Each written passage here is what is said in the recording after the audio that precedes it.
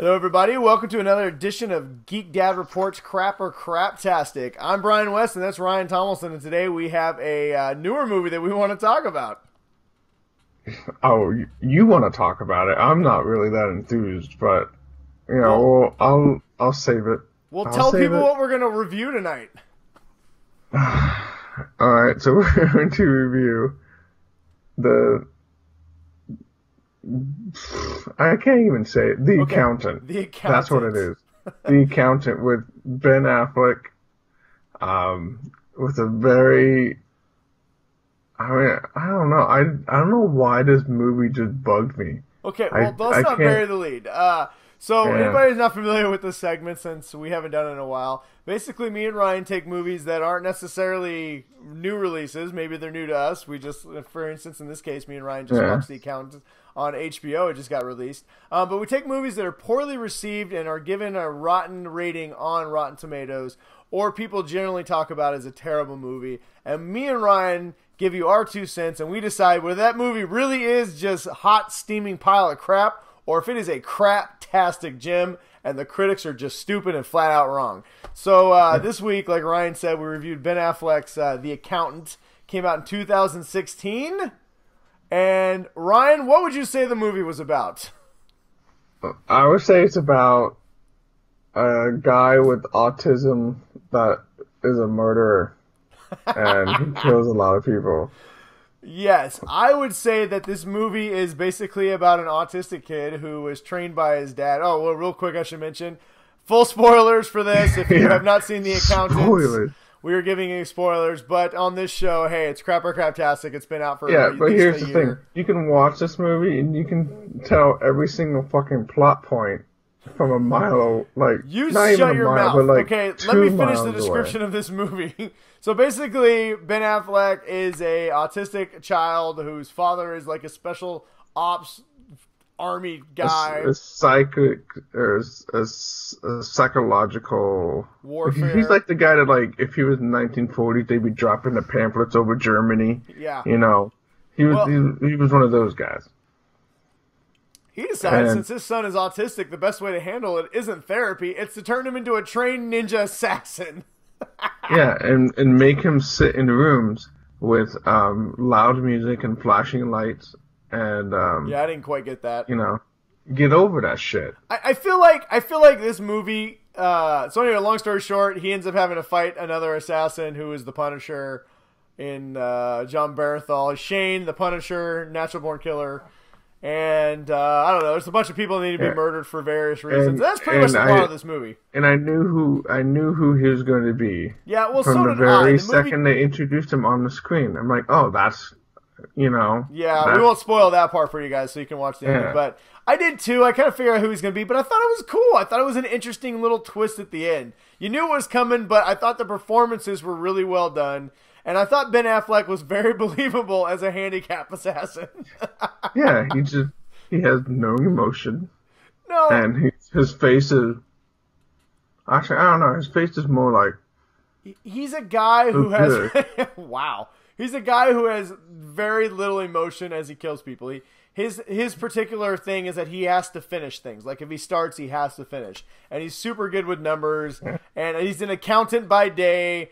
He does numbers and books. He does the books for like the mob and all these horrible people. But he has this weird set of ethics. And if you violate them, Yeah. he basically I mean- turns you in.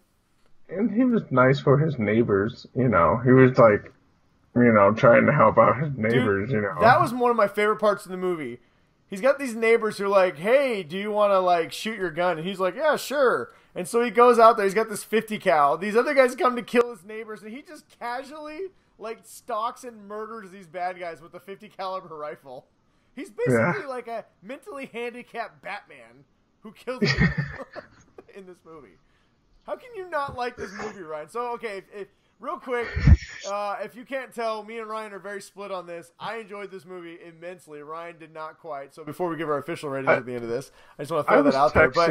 I was texting Brian halfway through, and I was like, "God, is this movie fucking over yet?" Just, and I called. I think I said some pretty harsh words to you. listen, I'm going to put this Um, out on a limb. If John Wick had not come out yet, this would be John Wick, right? But because John Wick has now set the bar for insane, No. crazy assassins, this movie fell way short. But no, I mean, No, listen, no, no, no. this movie deserves to be on crap or craptastic because even even if you do enjoy this movie, there's some shit that just is like what like when you find out at the end who's been helping him, you're just like, oh come on, like. Ben Affleck is running this like mental handicap assassin ring, right? And you're just like, what is like? I, I would have loved to be in the room when they pitched this movie to the studios because Yeah. yes, I want more of it. But um, y- yes, I was hi Charlie. I, I forgot to look it up. Sorry. I was gonna see if like the writer was autistic or something, or if he had a kid that was like they were just trying to make like an inspirational movie for like a family member Hang or a something. Go, go talk to your mom What? about it. Sorry, one of my daughters came downstairs, and apparently the older sister has a bloody nose. So Well, talk to your mom. just fucking That is recording. over the place. Anyway, what were you saying? I, I was saying, um, uh, oh, I think like I don't know if like the writer was autistic and he's like trying to like make like their brother feel included or something. I mean, it just felt like I feel like this was they were like, what trying if we make way too hard. what if we make an assassin but mentally handicapped, and everyone's like, and we'll get Ben Affleck, go with it, right? But I thought, Yeah. uh, I thought, what's her name? And we'll Uh, get that one hot chick from, um, you know, those Kendricks. movies. What's her name? Ah, I'm gonna pull it up right now. Anna, Anna She- Kendricks. I thought she did a really good job. Yeah. Listen, I thought the acting in this movie was really well was was really well done. I thought the script had points where you're like, eh, but I really enjoyed the movie. I think this movie. All right, so let's let's get to it. Number one, uh, clearly, I was excited about this movie. I thought it has all the things that you're looking for in a craptastic movie. It's enjoyable. It's fun. Um, the plot at some point points is just crazy, No, but it has all the murder every point. rampage that you need in a, point. an assassin movie. And even though they turned autistic handicapped people into mindless assassins, I'm going to give this a solid craptastic gem. Watch The Accountant. I think it's great. It's a ton of fun. And it's great. And it's getting a sequel, which is even better. We're going to have more mentally handicapped people No, this killing is, people this left and right. It's going to be going great. to be not the sequel crap or craptastic because I am going to put my foot down this movie was crap and that it is not even worth an Handy- accountant to crap or craptastic rating. No, it, Ninja Assassins, could- Ryan. I'm, I'm, I could see every motherfucking plot point from a mile away. All I even called who the girl was on his, or who the the secret person was on his phone. See, you thought I too much of this never- movie. You should have just sat back and enjoyed this movie for what it was. No, it's I am not going to rewatch this. I've suffered through the whole goddamn thing. This movie is crap. I am going to 100% say, do not waste your time on this movie.